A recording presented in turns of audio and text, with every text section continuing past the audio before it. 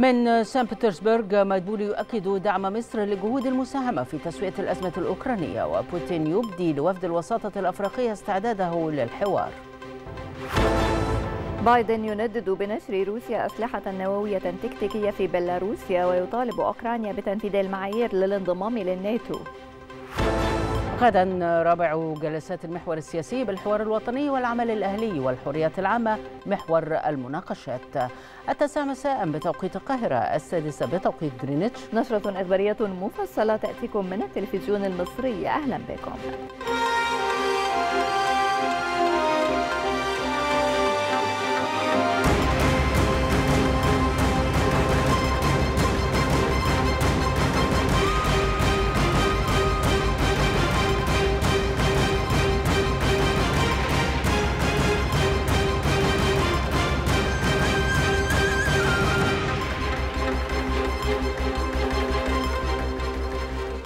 وفد المبادرة الأفريقية المشتركة بجولة في كل من روسيا وأوكرانيا لاستعراض مبادرته لحل الأزمة بين أوكرانيا وروسيا. ويمثل رئيس مجلس الوزراء مصطفى مدبولي مصر ضمن الوفد الأفريقي الذي عرض على كل من الرئيس الروسي والرئيس الأوكراني تفاصيل المبادرة الأفريقية.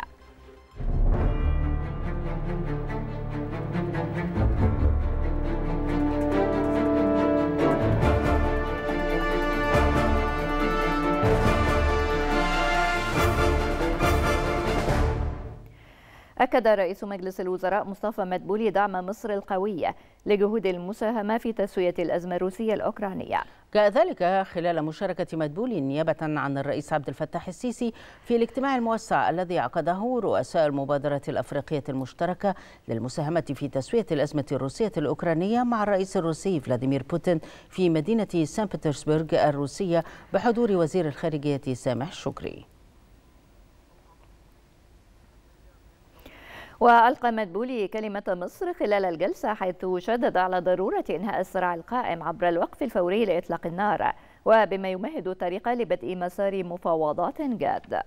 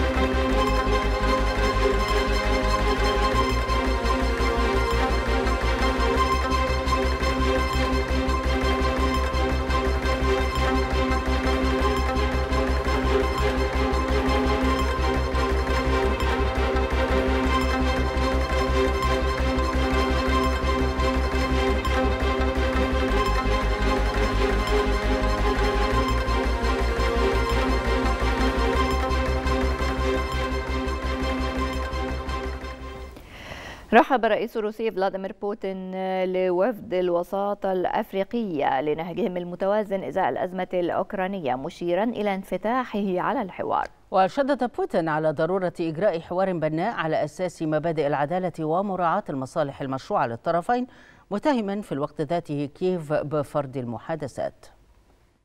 بودي أن أشدد من جديد على أن روسيا تحترم مواقف الدول الإفريقية للحفاظ على الاستقرار الإقليمي والمحلي وأيضا حل النزاعات سلميا وصياغة العلاقات الدولية. ونحن نتطلع إلى تقوية مثل هذه المواقف والأفكار ونرحب بالمواقف المتزنة الإفريقية تجاه الأزمة الأوكرانية ونشيد باهتمامكم بحل هذه الأزمة. وقال الرئيس الروسي فلاديمير بوتين إن أزمة الحبوب ليست نتيجة للعملية العسكرية على أوكرانيا منوها أنها اندلعت فيما قبل الحرب. أضاف بوتين أن موسكو قدمت تنازلات لتصدير الحبوب الأوكرانية إلى الدول الأفريقية مستشهدا بتوقيعها على اتفاق الحبوب تحت رعاية الأمم المتحدة. أما فيما يتعلق بصفقة الحبوب فنحن ندرك أنه رغم كل شيء وكل المشكلات المتعلقة بالأزمة الأوكرانية وسواء كان الأمر يتعلق بما يحدث بين روسيا وأوكرانيا فالدول النامية الإفريقية التي تحتاج إلى حبوب يجب أن لا تتعرض إلى كل هذه المشكلات.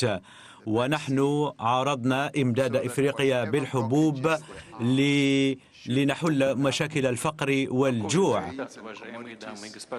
وتوجهنا إلى جانب الأمين العام غوتيريش وقدمنا مقترحنا لتصدير الحبوب إلى إفريقيا وخاصة الدول الفقيرة أولا وقدمنا مثل هذه التنازلات.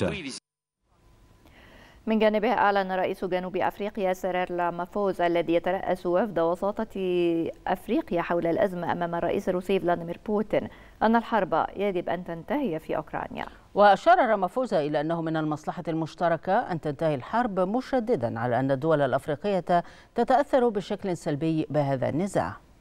نؤمن بقوة بأن هذه الحرب ينبغي أن تحل وتحل من خلال المفاوضات ومن خلال الأدوات الدبلوماسية. الحرب لا يمكن أن تستمر إلى الأبد. كل الحروب يجب أن تنتهي وتحل في مرحلة ما. ونحن هنا فقط لنوصل لكم رسالة واضحة بأننا نريد أن تنتهي هذه الحرب.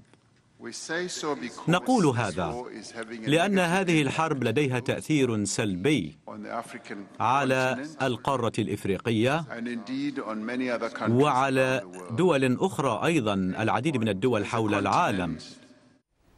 وفي سياق الأزمة شدد الرئيس الأمريكي جو بايدن على ضرورة أن تقوم أوكرانيا بتلبية المعايير والشروط لتكون جزءا من الناتو مشيرا إلى أن الطريق لن يكون سهلا أمام كييف للانضمام للحلف كما ندد الرئيس الأمريكي بقيم روسيا بنشر أسلحة نووية تكتيكية في بيلاروسيا واصفا تلك الخطوة بانعدام كامل للمسؤولية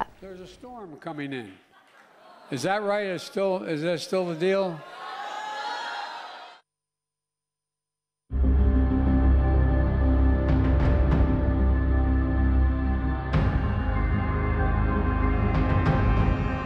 إن دعوتي للحوار الوطني تأتي من يقين راسخ لدي بأن أمتنا المصرية تمتلك من القدرات والإمكانيات التي تتيح لها البدائل المتعددة لإيجاد مسارات للتقدم في كافة المجالات.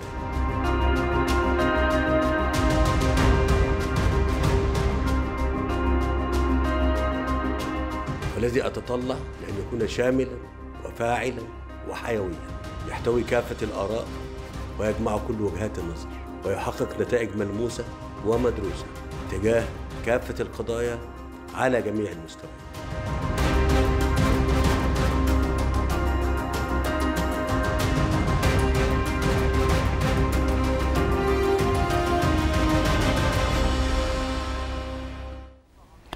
تستأنف غدا رابع جلسات الحوار الوطني لمناقشة المحور السياسي. وتناقش لجنة النقابات والعمل الأهلي خلال الجلسة لائحة تنفيذية للعمل الأهلي وأهم المعوقات التي تواجهه.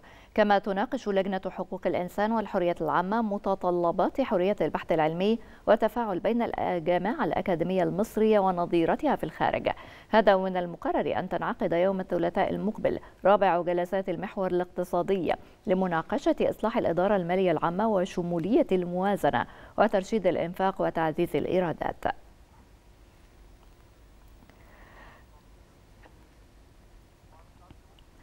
وخلال جلسات المحور الاقتصادي بالحوار الوطني اقترح أحد شباب المشاركين في الحوار من رواد الأعمال بإنشاء بنك يهدف إلى مساندة شركات ريادة الأعمال.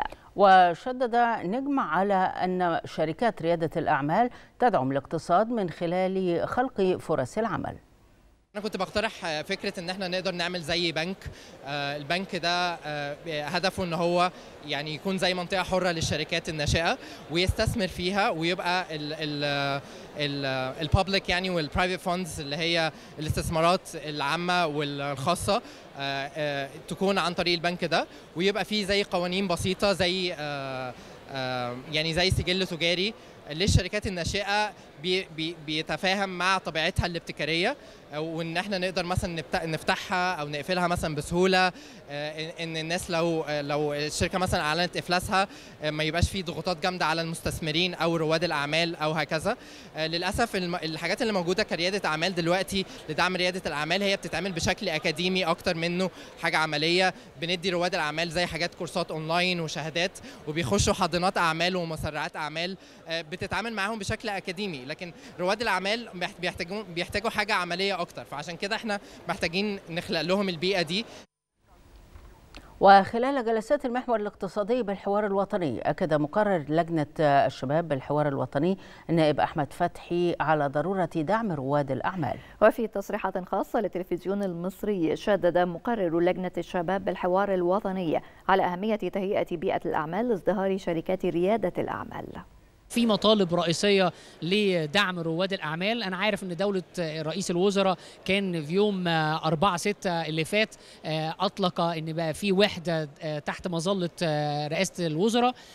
والمظلة دي هتبقى فعلا معنيه بمشاكل وتشريعية تخص رواد الأعمال من التنسيق ما بين الجهات المختلفة زي الوزارات المعنية بمفهوم ريادة الأعمال. ده كان مطلب رئيسي بس كانت الشباب بتطالب إن يبقى في مزيد من الدعم سواء الدعم من الصناديق الاستثمار. كانت في الموضوع مشتت ما بين أكتر من وزارة إن وزارة تشتغل على الملف ده بمفهوم مشروعات صغيرة وزارة تانية تشتغل مفهوم الشركات الناشئه شباب كتير كانت بتطالب بتوحيد المفاهيم لريادة الأعمال وهي معروفة. وإيه الفرق ما بينها وما بين المشروعات الصغيرة؟ عشان السادة العاملين سواء في جهاز تنمية المشروعات الصغيرة والمتوسطة لما يتعامل مع رواد الأعمال يبقى عارف إن ده رائد أعمال مش عنده مشروع صغير. الحاجة الثانية المهمة جدا اللي كله اتفق عليها فكرة عملية التدريب والتأهيل ما كمان ما تتمش من قبل الجامعة فقط لا أيضا تتم من مدارس الحكومية والخاصة.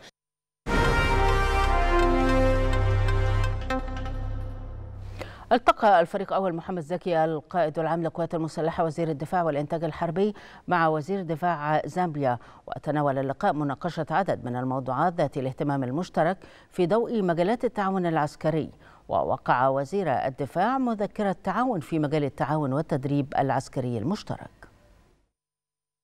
التقى الفريق أول محمد زكي القائد العام للقوات المسلحة وزير الدفاع والإنتاج الحربي السيد أمبروز لويجي لوفوما وزير دفاع جمهورية زامبيا والوفد المرافق له الذي يزور مصر حاليا في زيارة رسمية تستغرق عدة أيام. حيث أجريت له مراسم استقبال رسمية واستعراض حرس الشرف بمقر الأمانة العامة لوزارة الدفاع وعزفت الموسيقات العسكرية السلام الوطني لكلا البلدين. تناول اللقاء مناقشة عدد من الموضوعات ذات الاهتمام المشترك في ضوء مجالات التعاون العسكري ونقل وتبادل الخبرات بين القوات المسلحة لكلا الجانبين. وأعرب القائد العام للقوات المسلحة عن اعتزاز مصر بعلاقاتها التاريخية والممتدة مع جمهورية زامبيا مؤكدا حرص القوات المسلحة على زيادة أوجه التعاون والشراكة في مختلف المجالات العسكرية. من جانبه أشاد وزير دفاع جمهورية زامبيا بدور مصر المؤثر والفاعل في كافة القضايا المطروحة داخل القارة الأفريقية. معربا عن تطلعه لتعزيز آفاق التعاون العسكري بين البلدين الصديقين كما وقع السادة وزراء دفاع البلدين مذكرة تفاهم في مجال التعاون والتدريب العسكري. تضمنت عددا من الأنشطة التي تسعى القوات المسلحة لكلا البلدين لتدعيمها خلال المرحلة المقبلة. حضر اللقاء الفريق أسامة عسكر رئيس أركان حرب القوات المسلحة وعدد من قادة القوات المسلحة لكلا البلدين. بمناسبة قرب الاحتفال بذكرى الثورة نظمت وزارة الداخلية ندوة بعنوان الثلاثين من يونيو الخروج من مخططات الإسقاط إلى آفاق التنمية وذلك إيمانا بأهمية رفع الوعي لدى المواطنين والتوعية بالمخاطر والتحديات التي تواجه الدولة.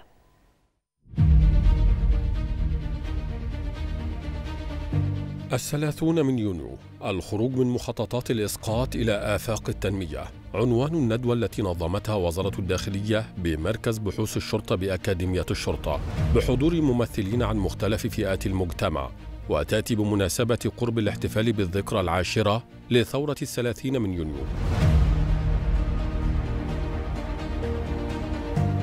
عقد الندوة يعكس أهمية الدور الذي تطلع به وزارة الداخلية في التوعية بالمخاطر والتحديات التي تواجه الدولة. ندوة متميزة للغاية لأنها زي ما قلت فيها تمثيل لأجهزة الدولة المختلفة وده بيشير لأهمية الوعي لمواجهة الشائعات التي يتم نشرها بين الحين والآخر. جلسات الندوة شهدت مناقشات حول جهود مؤسسات الدولة في مواجهة مخططات الإسقاط ودور هذه المؤسسات في الحفاظ على الاستقرار وتحقيق التنمية حيث تم استعراض جهود عدد من هذه المؤسسات.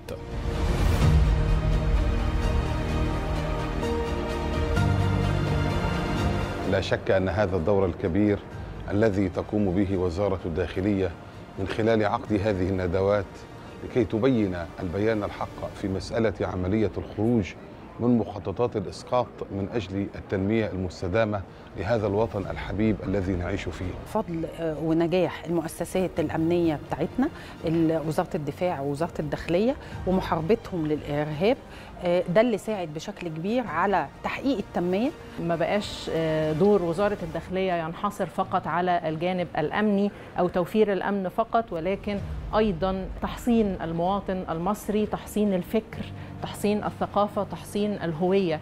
وقد أشاد الحضور بموضوعات الندوة وما تبذله وزارة الداخلية من جهود لرفع الوعي العام لدى المواطنين وتعريفهم بإنجازات الدولة وخططها نحو البناء والتنمية. لتحقيق مستقبل أفضل. الندوة عظيمة إنها بتحاول ترشد وتعلم وتوضح أشياء ممكن تبقى غايبة عننا إن البلاد أو الأوطان لو ذهبت لن تعود. أنا استفدت إن أنا مش أي شائعة تنزل إن أنا أسمعها. ومفروض أعرف إيه المحيط وأتأكد من المعلومة الموجودة. خلال الندوة تم عرض فيلم تسجيلي حول ثورة الثلاثين من يونيو وما حققته من إنجازات على كافة الأصعدة. بخاصة الأمنية اختتمت الندوة فعالياتها بعدد من التوصيات أبرزها مواصلة التوعية بخطورة حروب الجيل الرابع التي تستهدف إسقاط الدول والمضي قدما نحو تنفيذ خطط التنمية مع التأكيد على أهمية دور وسائل الإعلام في إبراز النجاحات التي حققتها الدولة المصرية على كافة المستويات. خرجت الندوة أعتقد بكل الأهداف اللي هي كانت مخطط لها. الحاجة الثانية إنها كانت رسالة رسالة للناس وللشعب لأن وده دور وزارة الداخلية النهاردة إنها وضحت حاجات كتيرة. وأنا أعتقد عن نفسي أنا استفدت كتير جدا النهاردة من كل المحاضرين لأن ده كانت أحد أسباب نجاح اختيار المحاضر الجيد اللي عنده المعلومة الجيدة اللي يوصلها للمستهلك وتستمر وزارة الداخلية في الاطلاع بدورها في رفع الوعي المجتمعي لدى فئات المجتمع. للتصدي لمخاطر الشائعات وإبراز الإنجازات الوطنية على كافة الأصعدة وتعميق الولاء والانتماء الوطني.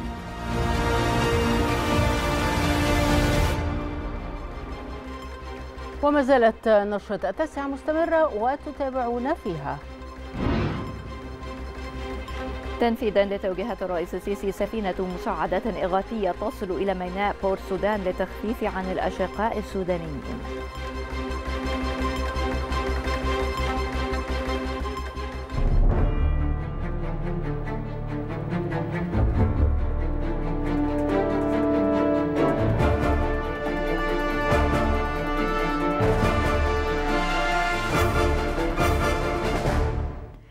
تنفيذا لتوجيهات الرئيس عبد الفتاح السيسي واستمرارا لدور مصر الفاعل تجاه دولة السودان الشقيقة وصلت سفينة إمداد تابعة للقوات البحرية إلى ميناء بور سودان.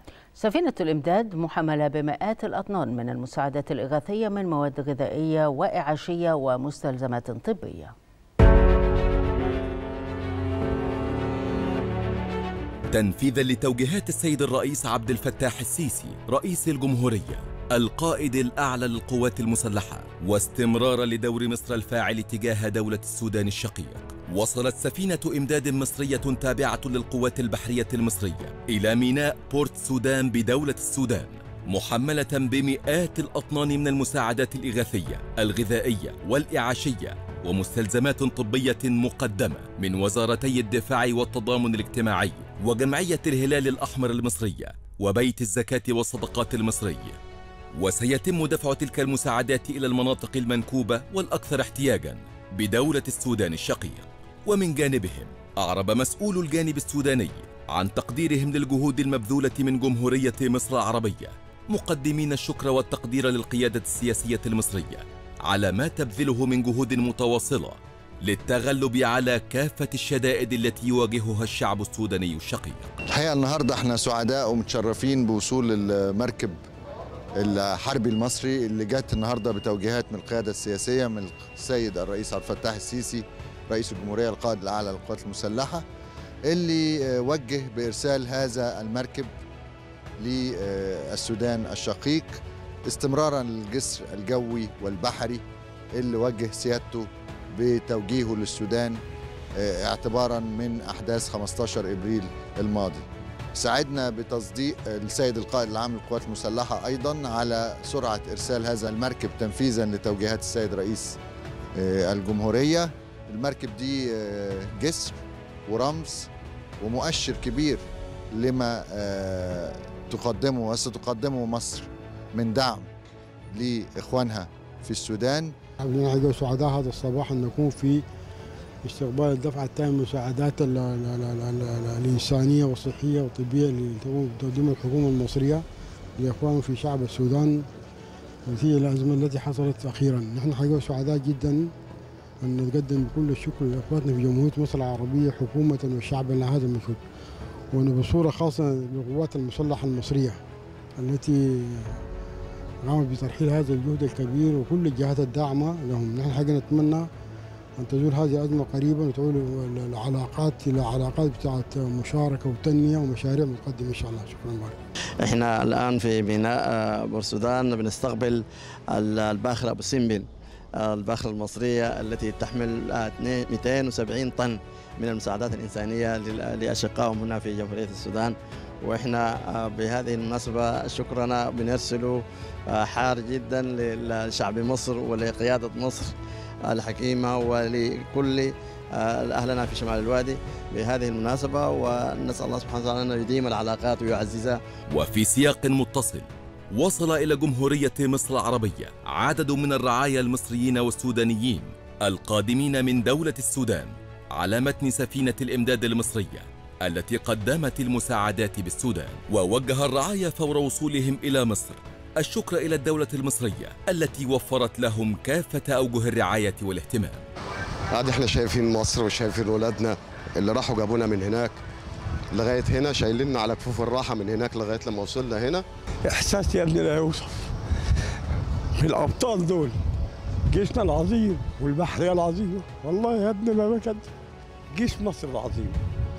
وقائدنا قائد عظيم. حمونا وأكلونا وشربونا. والله والله هنقول لك إيه هناك الله يكون في عونهم يعني؟ ماشي؟ أمال إحنا عندنا دولة. الامن بالدنيا.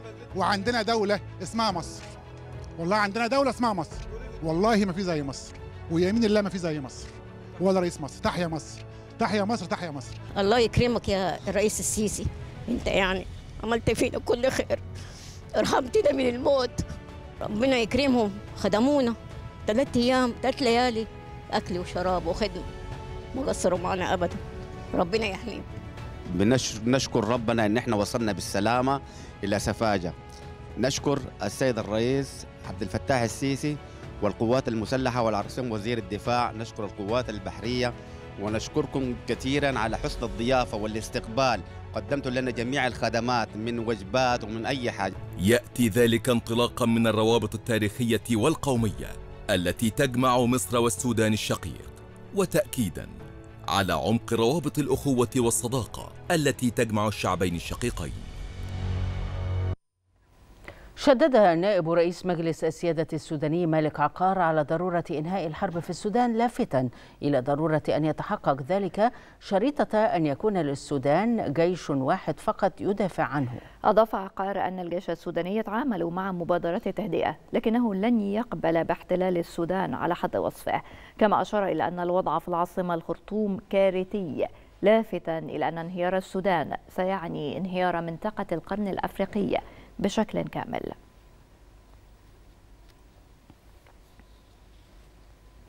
شن الجيش السوداني عمليات قصف مدفعي على مواقع لقوات الدعم السريع في العاصمة الخرطوم. كما تجددت الاشتباكات بين قوات الجيش والدعم السريع في مدينة الأبيض شمالي كردفان وفي السياق ذاته قال الفريق أول ركن ياسر العطا مساعد القائد العام للجيش السوداني إن قوات الجيش تتقدم بثبات نحو الأهداف المخطط لها.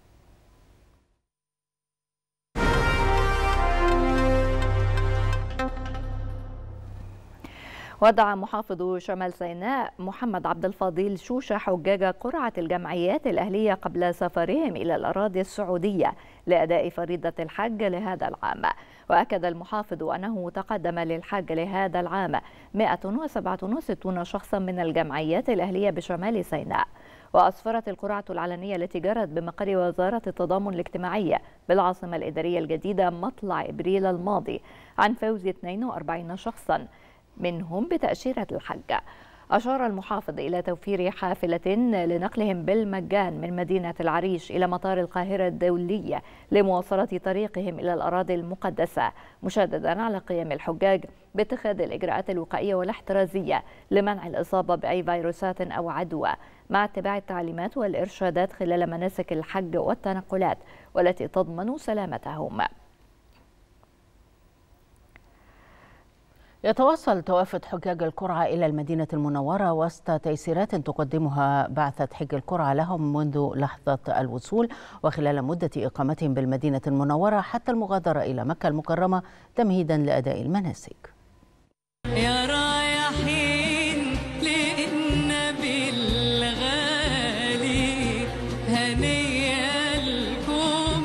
لكم يغادر يوميا أفواج من حجاج القرعة مطار القاهرة الدولي في رحلة تستغرق نحو ساعتين باتجاه المدينة المنورة.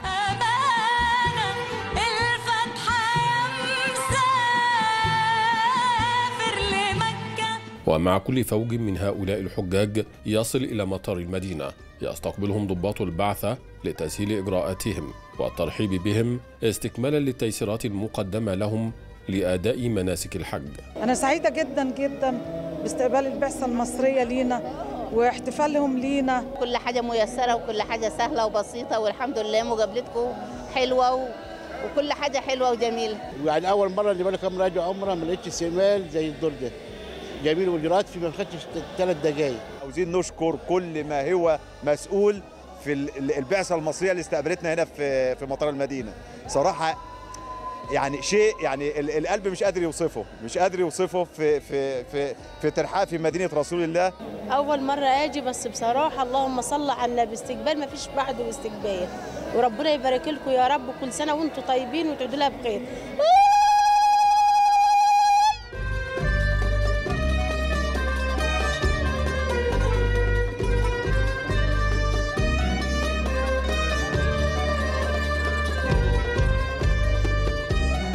بمجرد انتهاء الإجراءات يستقل الحجاج الحافلات المجهزة لهم أمام صالة الوصول لتقلهم إلى فنادق إقامتهم.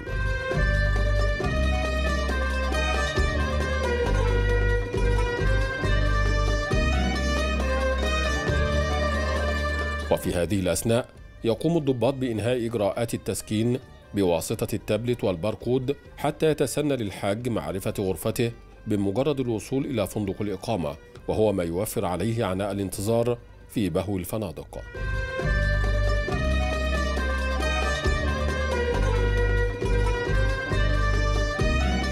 حفاوة استقبال الحجاج كبيرة بفنادق الإقامة التي اختارتها بعثة حج القرعة بوزارة الداخلية بعناية كبيرة على مقربة من الحرم النبوي الشريف. وبما ييسر على الحجاج التردد على المسجد النبوي لأداء الصلوات في أوقاتها. ما شاء الله يعني تنظيم رائع جدا وجيد جدا من أول ما وصلنا في المطار آه، لحد هنا. المشرفين ما شاء الله حاجة ممتازة عرفونا كل التعليمات وكل الحاجات اللي إحنا المفروض هنعملها. التسكين بدأ من ال- من الباص. توزيع الكروت في ال- في الباص ومعرفة كل واحد الطابق بتاعه والغرفة بتاعته. ما خدناش وقت في التسكين وراحة في كل حاجة. فرحة كبيرة بين الحجاج بسبب دقة عمليات التنظيم منذ لحظة وصولهم إلى مطار المدينة حتى فندق الإقامة. ووجود الضباط بينهم لتوجيههم والإجابة على كافة استفساراتهم. طبعا الشكر كل الشكر للبعثة والترتيب الاجراءات الأمنية تمام زي الفل والله. الناس بذلت معانا مجهودات حلوة جدا. نشكر وزارة الداخلية بظباطها وأفرادها وبعثتها واهتمامها بينا ومفيش أي تقصير. وأحسن فنادق ونظام في المطار كل حاجة جوازاتنا وورقنا وكل حاجة والتعارف كل حاجة تمام بسم الله ما شاء الله. في تسهيلات آه، لكل الحجاج وحسن استقبال لينا وتعاون لكل الحجاج والحمد لله ما فيش أي آه، معوقات قابلتنا هكذا هي أجواء روحانية وفرتها بعثة حج القرعة للحجاج لأداء مناسك الحج في سهولة ويسر مع وضع كافة الإمكانات لخدمة الحجيج. يتواصل توافد حجاج القرعة إلى المدينة المنورة تمهيدا لقضاء أيام بها قبل التوجه إلى مكة المكرمة لأداء المناسك. وسط تيسيرات يقدمها ضباط بعثة حج القرعة لهم للتيسير عليهم لأداء صلواتهم في المسجد النبوي الشريف. من أمام أحد فنادق إقامة حجاج القرعة بالمدينة المنورة عبد الله بركات التلفزيون المصري. وما زلنا مع ضيوف الرحمن حيث تواصل البعثة الطبية المصرية بمكة المكرمة والمدينة المنورة أعمالها لاستقبال الحجاج المصريين وقد تم تقديم الخدمات العلاجية لنحو 1513 حالة بالعيادات الطبية بمكة المكرمة. كما حولت البعثة 18 حالة للمستشفيات تم خروجهم عدا ثلاث حالات مستقرة. وتتلقى العلاج وتقوم فرق الطب الوقائي أيضا بعمل ندوات توعوية للحجاج بمقر إقامتهم. مع تزايد وصول ضيوف الرحمن إلى الأراضي المقدسة لأداء فرضة الحج. ومنهم الحجاج المصريين بمكة المكرمة ارتفعت معها درجة الاستعداد القصوى لفرق الطب الوقائي بالبعثة الطبية المصرية وذلك بالمرور والتواجد في مقر إقامة الحجاج المصريين لإقامة البرامج والندوات التوعوية في كيفية الوقاية من الأمراض المعدية وضربات الشمس والتغذية الصحية السليمة خلال أدائهم المناسك. بنبدأ نتواصل معهم باستمرار وكل يوم عن طريق اللي إحنا نوصل لهم في أماكن تجمعاتهم أماكن إقامتهم أماكن الصلاة في المساجد وأماكن ندوات في أماكن التجمع إذا كان في مطاعم أو كده. أهم الرسائل اللي بنوجهها لهم إزاي يقدر يقضي حج سليم بالتغذية السليمة بالصحة السليمة يحافظ على نفسه من ضربات الشمس والإجهاد الحراري إزاي يقدر يتعامل مع الأمراض المزمنة اللي عنده لو حس بأي أعراض من الأمراض إمتى يتوجه لل- للعياد- للعيادات وإيه أماكن العيادات وإزاي يقدر يتواصل مع الأطباء في أي وقت. دي إجراءات لازم ياخد باله منها كلها علشان يقدر يحافظ على صحته سليمة جدا إن شاء الله ويقضي الحج بطريقة آه، سليمة ويرجع على أرض الوطن بالسلامة إن شاء الله. نوصي إن إحنا نلبس الماسك في المناطق المزدحمة جدا لتقليل العدوات بالأمراض التنفسية. ثالث حاجة إن أنا لازم أوصي بالتغذية التغذية السليمة، التغذية السليمة دي حاجة مهمة جدا وشرب السوائل لأن ده بيمنع الجفاف، بيمنع عندي حاجة الاجهاد الحراري، يمنع عني ضربات الشمس، يمنع عني كثير من الأمراض المعدية اللي بتنشط بسبب ضعف الجسم من ضعف السوائل وضعف التغذية. كما تتواصل أعمال البعثة الطبية المصرية في تقديم الخدمات العلاجية على مدار الساعة للحجاج المصريين أينما كانوا. معظم الحالات اللي اشتكت النهارده عبارة عن إجهاد عضلي آه، ضربه شمس آه، متابعة سكر متابعة ضغط أصحاب الأمراض المزمنة لكن الحمد لله الحالات كلها ليس بها أي إصابات أو أي شيء. كلها تمر بسلام من داخل العيادة الم- الموجودة بال- بالفندق ولا يوجد أي تحويلات لأي مستشفى ولا أي جهه أخرى. الحمد لله الأمور ماشية بتمام. إحنا متواجدين النهارده من 8 الصبح إلى الآن وما زال العمل مستمر على مدار ال 24 ساعة. قبول واستحسان من قبل الحجاج المصريين لما يقدم لهم من خدمات علاجية ووقائية على مدار الساعة. حاجة كويسة إن أنا أنزل الساعة واحدة ألاقي الدكتور متواجد وأسأله ويديني العلاج ويديني نصيحة الساعة واحدة بالليل. كويسة جدا. كنت هدور أروح فين؟ ادينا ارشادات اننا ما نمشيش في الحر علشان الاحتباس الحراري وحط حاجة على راسك وأنت ماشي وما تقربش إيدك من عينيك دايما. معلومات كلها مهمة ومعلومات آه، يعني قيمة. نستفاد منها كلنا إن شاء الله. طبعا لازم الإرشادات ديت أهم مهمة جدا. في ستات برضه كبيرة في ناس محترمة. واخد بالك؟ تقدر هي يعني تستفيد من المعلومات دي. فرحانة قوي وسعيدة قوي وعاوزه كل الناس تحج. على الرغم من الخدمات العلاجية التي تقدم للحجاج المصريين على مدار الساعة إلا أن الإجراءات الاحترازية والوقائية هو ما تحرص عليه البعثة الطبية لتوفير أجواء صحية آمنة لضيوف الرحمن. محمد حلمي التلفزيون المصري.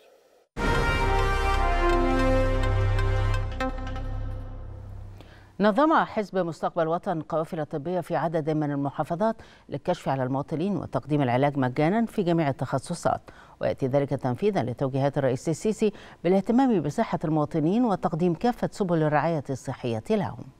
تنفيذا لتوجيهات السيد الرئيس عبد الفتاح السيسي رئيس الجمهورية بالاهتمام بصحة المواطنين وتقديم كافة سبل الرعاية الصحية لهم. نظم حزب مستقبل وطن قوافل طبية في عدد من المحافظات. للكشف على المواطنين وتقديم العلاج مجانا في جميع التخصصات. وضمت القوافل أفضل الأطباء والاستشاريين المتخصصين في جميع المجالات الطبية.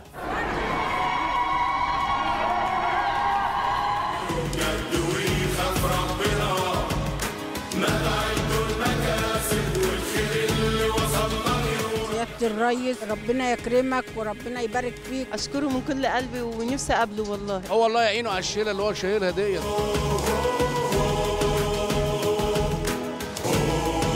علاج مجاني وفي كل التخصصات بصراحة يعني. ولا جنيه والله ولا أي حاجة. لينا كلنا مش للفقير ولا للغني للجميع. كلهم بيساعدونا وبيتعاملوا معانا باحترام وأخلاق. أشكر جميع العاملين بالحزب بالخدمات اللي هم بيقدموها للمطرية كاملة. حب السيسي بس حب السيسي بس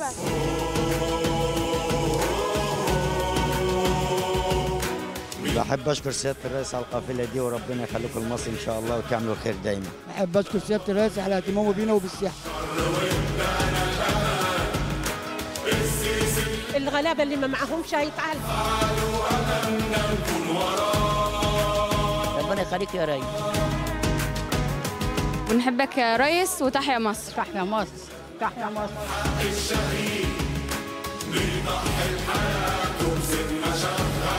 ربنا يخليه لينا. وتحيا مصر تحيا مصر. جينا بصراحة لقينا كل التخصصات وكل الدكاترة وحاجات جميلة خالص.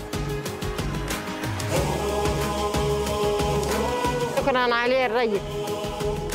وأحسن أيام عشناها هي أيام الرئيس عبد الفتاح السيسي. حسينا فيها بالأمن والأمان. نشكر كل القائمين على هذه القافلة.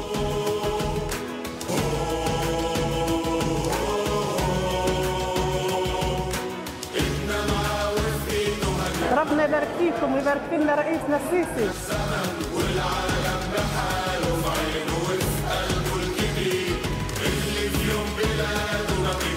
بارك الله فيك يا ريس.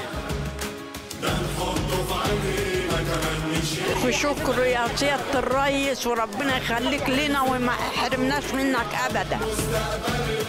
الخدمة بسم الله ما شاء الله الخدمة ممتازة 100 100 وبقول كام مبلغ؟ قالوا لي مجانا العلاج بالمجان والتحليل بالمجان وكل حاجة بالمجان.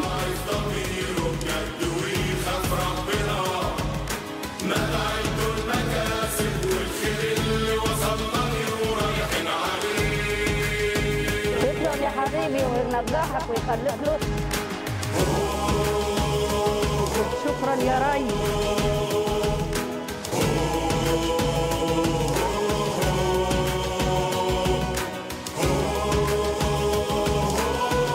بنشكر الرئيس عبد الفتاح السيسي ونقول بقى له ألف شكر. امينه وحامل البلد وجايب لنا علاج بردك مجان ويشكر.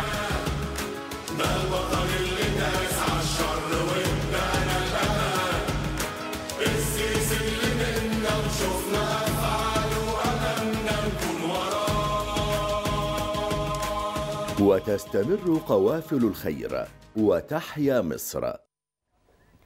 استقبل محافظ مطروح خالد شعيب ومساعد وزير الخارجية للشؤون الأمريكيتين حازم فهمي سفراء دول أمريكا اللاتينية خلال زيارة مدينة العالمين الجديدة. وذلك في إطار جهود وزارة الخارجية للترويج للقدرات المصرية في مختلف المجالات.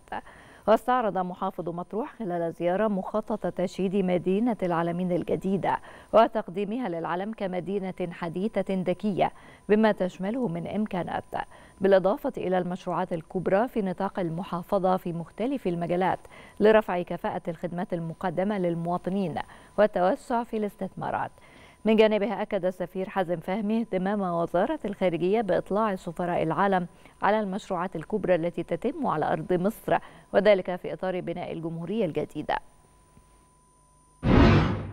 كان اللقاء مثمر جدا مع سفراء دول أمريكا اللاتينية في مصر ثم تجولنا داخل مدينه العالمين الجديده في رحلة شافوا المدينة من فوق الأبراج ومنبهرين جدا بما شاهدوه وكان لهم تعليقات جميلة جدا جدا. جعلتني أنا كمصري أفتخر ببلدي قدام كل هذه الدول اللي كانت موجودة النهارده أو السفراء الدول الموجودين تمنياتي يعني إن شاء الله يعني أن تتكرر مثل هذه الزيارات لينا لأن مطروح الحمد لله هي فعلا أصبحت قاطرة وجاذبة للاستثمار. بكل أنواعه. نحن في زيارة خاصة لمدينة العالمين في إطار جهود وزارة الخارجية للترويج لجهود الدولة المصرية في بناء الجمهوريه الجديده. معنا كافة سفراء دول أمريكا اللاتينية بالقاهرة وهم هنا في إطار إن هم المعرفة بالجهود والإنجازات اللي بتقوم الدولة فيها المصرية في تطوير الساحل الشمالي ومرسى مطروح بصفة خاصة ومدينة العالمين بصفة استثنائية. هم إنبهروا جدا بكل اللي شافوه وطبعا التنوع الثقافي والعلمي والصناعي والسياحي العناصر المتكاملة الموجودة في مدينة العالمين وبيتطلعوا إن هم يعملوا اتفاقيات علمية مع الجامعات المرموقة اللي زاروها هنا زي الأكاديمية البحرية وجامعة العالمين الجديدة شهدت محافظة قنا افتتاح عدد من المشروعات الثقافية بتكلفة إجمالية تقدر بنحو 65 مليون جنيه. ويأتي افتتاح هذه المشروعات ضمن جهود الدولة في إحداث نقلة نوعية في هذا المسار فضلا عن تفعيل استراتيجية ثقافية تستهدف بناء الإنسان المصري.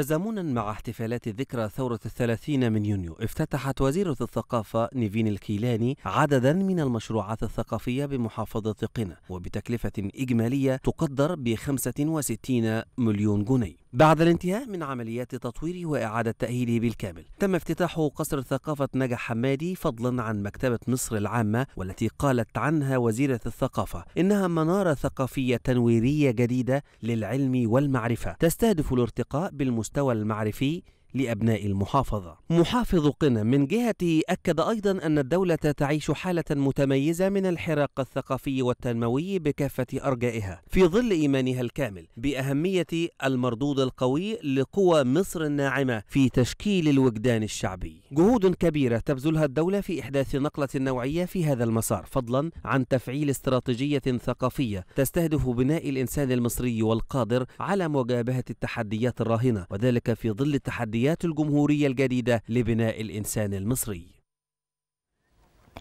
أعلنت وزارة الصحة والسكان تقديم خدمات الفحص والتوعية ل 36 مليون و464 ألف من السيدات وذلك ضمن مبادرة رئيس الجمهورية المستدامة لدعم صحة المرأة منذ إطلاقها في شهر يوليو عام 2019 ودعت الصحة السيدات إلى الاطمئنان الدوري على حالتهن الصحية من خلال الخدمات التي تقدمها المبادرة المستدامة. وذكرت الوزارة أن أكثر من 548 ألف سيدة ترددن على المستشفيات لإجراء الفحوصات المقدمة ضمن المبادرة حيث تقدم المبادرة خدماتها المجانية لفحص السيدات من خلال 3538 وحدة صحية على مستوى محافظات الجمهورية. بالإضافة إلى مشاركة 202 من المستشفيات لتقديم الخدمة الطبية للسيدات التي تتطلب حالتهن إجراء فحص متقدم لهن.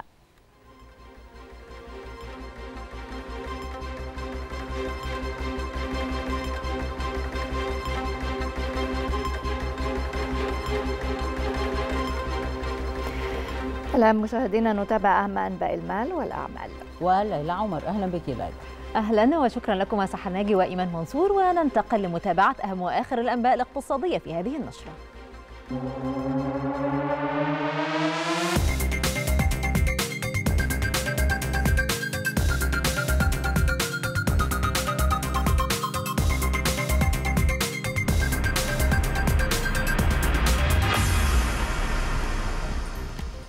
أكد وزير البترول طارق الملا أن قطاع البترول والغاز في مصر يسير بخطى ثابتة وفق خارطة طريق واضحة نحو تحقيق المزيد من الاكتشافات وزيادة الإنتاج لتأمين إمدادات الطاقة محليا ودوليا.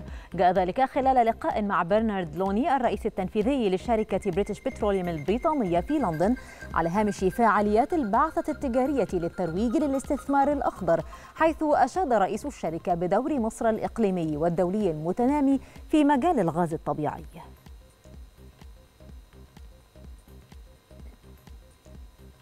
كما بحث وزير البترول مع كلينيف رئيس شركة شيفرون العالمية للاستكشاف والإنتاج مستجدات أنشطة الشركة في مصر وخططها لزيادة الإنتاج بمناطق امتيازها المختلفة للبحث عن الغاز والبترول.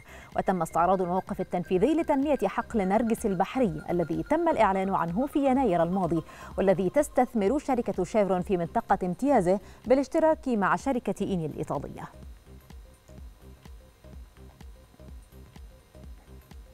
استقبل رئيس المنطقة الاقتصادية لقناة السويس وليد جمال الدين بمقر الهيئة بالعين السخنة المدير التنفيذي لمجموعة أداني الهندية لبحث سبل التعاون بين الجانبين في مجالات البنية التحتية والطاقة المتجددة واللوجستيات والموانئ. وخلال اللقاء أكد جمال الدين الدفع بتعزيز التعاون بين شركة أداني والمنطقة الاقتصادية حيث تطمح المنطقة إلى تنفيذ منطقة صناعية هندية على غرار المناطق الصناعية الأخرى لبعض الدول داخل المنطقة الاقتصادية.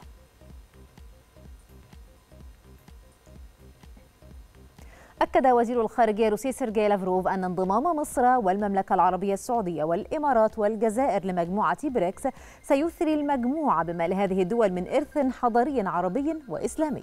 وقال لافروف أن انضمام أعضاء جدد لمجموعة بريكس من ممثلين كبار للحضارة العربية والإسلامية سيصب في مصلحة تقوية ودعم التعددية القطبية التي تتشكل الآن.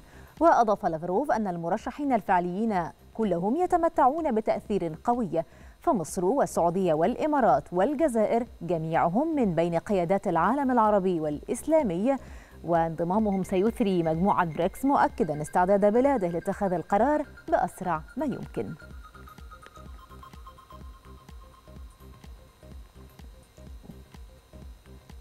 وفي أسواق البترول العالمية سجلت أسعار النفط مكاسب أسبوعية حيث أدت زيادة الطلب من الصين وخفض تحالف أوبك بلس للإنتاج إلى ارتفاع الأسعار رغم توقعات ضعف الاقتصاد العالمي واحتمال رفع أسعار الفائدة مجددا.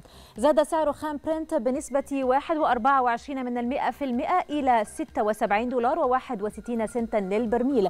كما صعد خام غرب تكساس الوسيط بنسبة 1.64 من المئة في المئة إلى 71 دولار و78 سنتا للبرميل.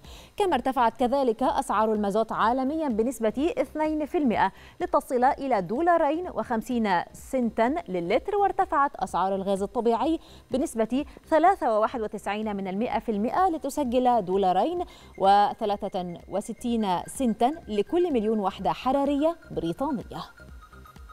قال رئيس شركة النفط الروسية العملاقة روزنفت إيغور سيتشن إن روسيا تخسر فرصا لصالح دول أوبك بلس بسبب تراجع حصة صادراتها النفطية في الإنتاج. وفي كلمة خلال منتدى اقتصادي اقترح سيتشن مراقبة صادرات النفط أيضا وليس حصص الإنتاج فحسب.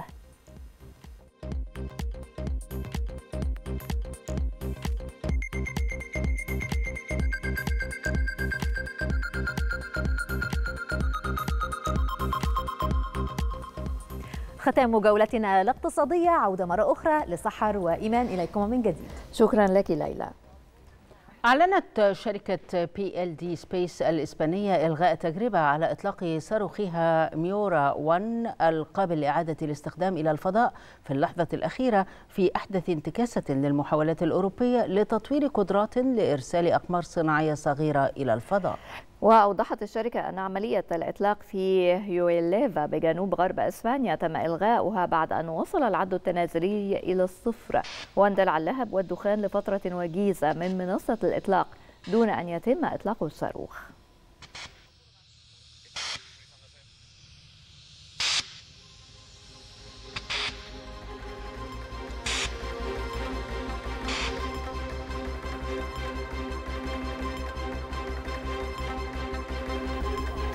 ومن الفضاء إلى أخبار الرياضة في هذه النشرة. أخبار الرياضة نعود فيها من جديد إلى ليلى عمر. تفضلي ليلى. شكرا إيمان وسحر وننتقل لمتابعة أهم وآخر الأنباء الرياضية في هذه النشرة.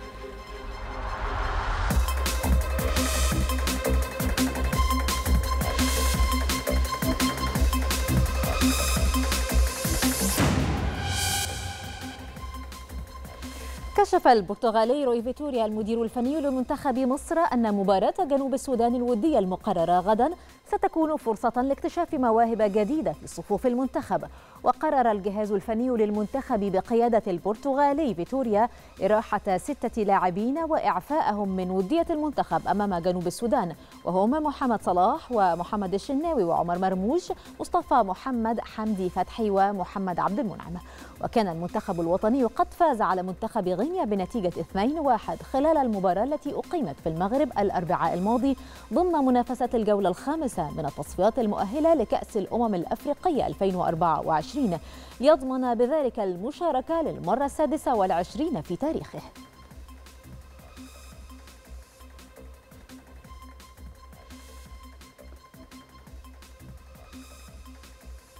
تشارك مصر في دورة الألعاب العالمية الصيفية السادسة عشرة للأولمبياد الخاص والمقامة حاليا بالعاصمة الألمانية برلين وتستمر حتى الخامس والعشرين من يونيو الجاري. وتضم البعثة المصرية 69 لاعبا ولاعبة. تمثل مصر في 15 رياضة مختلفة بالإضافة إلى مشاركة مصر في مؤتمري الشباب العالمي واللاعبين القادة المقامين على هامش الألعاب. وتعد دورة الألعاب العالمية الصيفية للأولمبياد الخاص أكبر الأحداث بالأولمبياد الخاص الدولية حيث يشارك فيها أكثر من 7000 لاعب ولاعبة و2500 مدرب ومدربة من أكثر من 190 دولة حول العالم.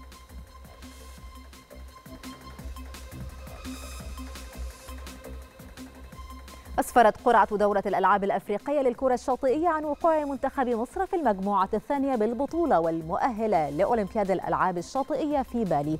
ويواجه الفراعنة منتخبات المغرب وليبيا وجزر القمر في البطولة التي ستقام في تونس في الفترة من الرابع والعشرين إلى الثلاثين من يونيو الجاري.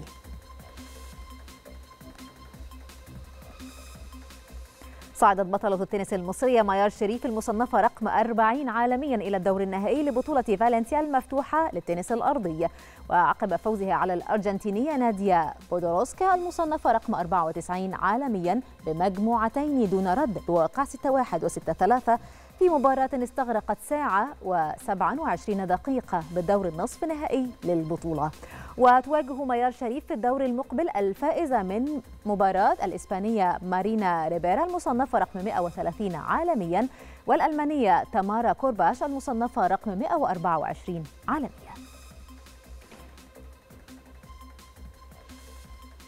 احتل الإيطالي فرانشيسكو بانيايا حامل لقب بطولة العالم للدراجات النارية مركز أول المنطلقين في سباق جائزة ألمانيا الكبرى وذلك بعد تصدره التجارب التأهيلية. وسجل بانيايا الذي يتصدر ترتيب بطولة العالم أسرع زمن للفة في مسار جاف وقدره دقيقة واحدة و21 ثانية وأربعة أجزاء من الثانية.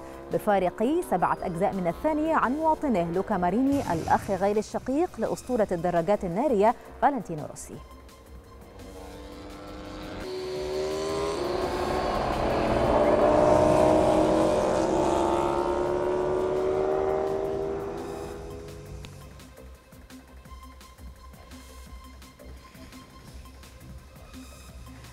ختام جولتنا الرياضية وعودة مرة أخرى لسحر وإيمان إليكم.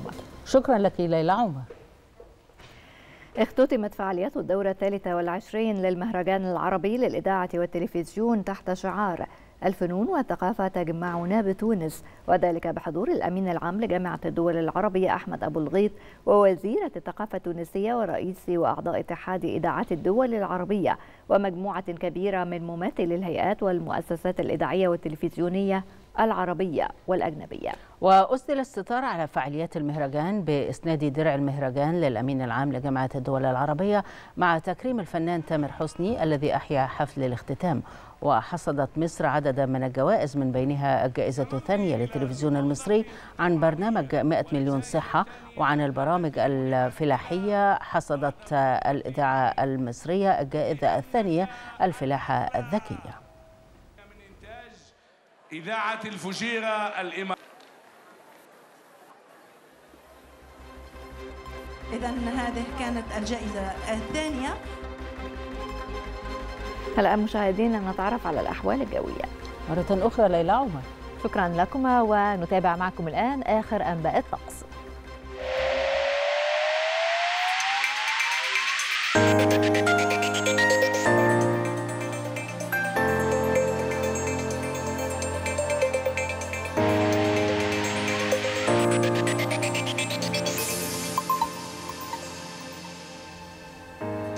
يتوقع خبراء هيئة الأرصاد الجوية أن يسود غدا الأحد طقس حار نهارا على القاهرة الكبرى والوجه البحري مائل للحرارة على السواحل الشمالية شديد الحرارة على جنوب سيناء وجنوب البلاد. بينما يسود ليلا طقس معتدل الحرارة على الأنحاء كافة. وفيما يلي بيان بدرجة الحرارة المتوقعة غدا على محافظات ومدن الجمهورية والبداية بالقاهرة العظمى فيها 34 الصغرى 22 الإسكندرية 28 20 مطروح 27 20 بورسعيد 28 21 والإسماعيلية 35 22 ننتقل للسويس 34 24 العريش 29 22 طابة 32 24 شرم الشيخ 38 28 الغردقة 38 27 أما في الأقصر فالطقس شديد الحرارة العظمى في الأقصر 45 الصغرى 31 أسوان 45 31 الوادي الجديد 41 23 شلاتين 39 27 وأخيرا حلايب 35 28 والآن نستعرض معكم درجة الحرارة المتوقعة غدا في عدد من العواصم والمدن العربية والعالمية.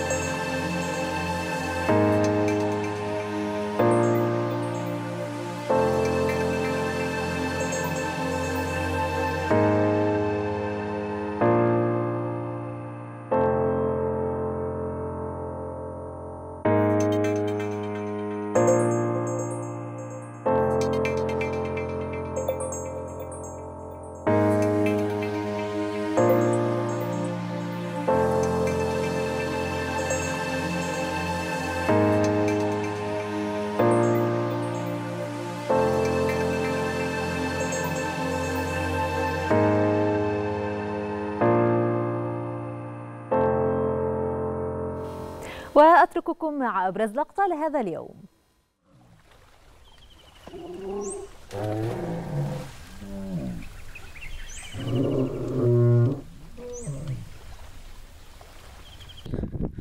acá en el lado norte está la Caro despejando, no sé qué es. Despejó estos huesos que se ven acá, no sabemos muy bien qué son, pueden ser húmeros, está haciendo una zanja porque vamos a hacer un bochón y necesitamos hacer acá. Aquí nos han aparecido otros huesos, uno que está metido ahí que no sabemos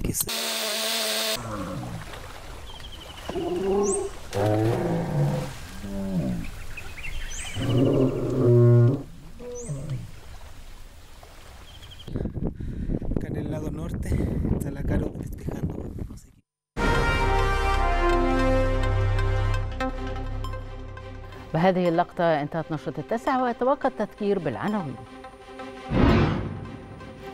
من سان بطرسبرغ مدبول يؤكد دعم مصر لجهود المساهمة في تسوية الأزمة الأوكرانية وبوتين يبدي لوفد الوساطة الأفريقية استعداده للحوار. بايدن يندد بنشر روسيا أسلحة نووية تكتيكية في بيلاروسيا ويطالب أوكرانيا بتنفيذ المعايير للانضمام للناتو.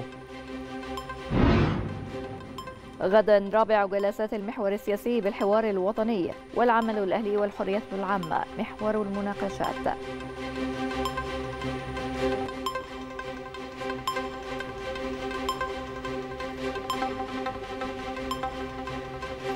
انتهت نشرتنا لكن التاسعة متواصلة مع حضراتكم مع يوسف الحسيني مساء الخير بيك ازيك يا ايمان ازيك يا. سحر؟ عاملين بيك. إيه؟ أخباركم إيه؟ كله تمام، تمام؟ الحمد لله. لله. الحمد لله. الحمد لله. على ما يبدو إن برضو مصر قاعدة شغالة بتقطع أشواط جيدة. دلوقتي الدكتور مصطفى مدبولي هناك في أوكرانيا. يعني من ضمن أو بالأدق هو بيترأس الوفد المصري من ضمن هو خلص. أوكرانيا حاليا خلص راح أوكرانيا روسيا. وطلع على روسيا. ويبدو كمان إنه يعني الأطراف كلها مستعدة للحوار والجلوس على مائدة المفاوضات. يعني وفد الأفريقية أتمنى. نتمنى إن هو يعني يبدي يعني جهوده وثمارها لأنه أكيد الأزمة مؤثرة على أفريقيا بشكل سلبي. طبعا مؤثرة على العالم. فلعل يكون في إفريقيا هي الحل. يعني نتمنى. نتمنى. يا رب. أشكرك يا سحر. أشكرك إيمان. واستأذنكم. نبدأ فقراتنا اتفضل